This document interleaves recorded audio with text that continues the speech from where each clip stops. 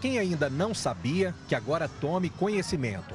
Existe um pedacinho da Bahia aqui mesmo em Goiás. Fica no meio do caminho, entre Anápolis e Goiânia.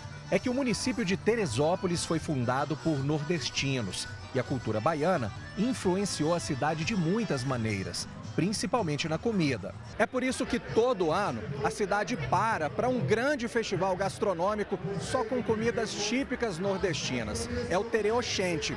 E os organizadores levam isso tão a sério que eles mandam buscar lá na Bahia cozinheiras de verdade, de lá do estado, para poder garantir que as receitas sejam as mesmas feitas lá na Bahia, por exemplo.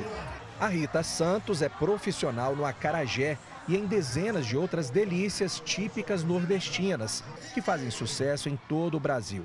E não é que ela se sentiu em casa aqui em Teresópolis. O pessoal já sabe que é acarajé, todo mundo está vindo procurar o acarajé de fato, então eu estou me sentindo em casa. O festival vai até domingo na principal praça da cidade.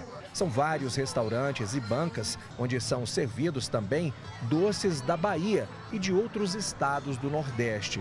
Aqui tem vários doces onde estão nas bodegas. É, tem doce, tem suco, tem paçoca, requeijão.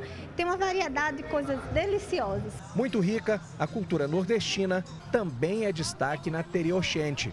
Os bonecos de Lampião e Maria Bonita, casal símbolo do cangaço, fazem o maior sucesso nas bancas de artesanato.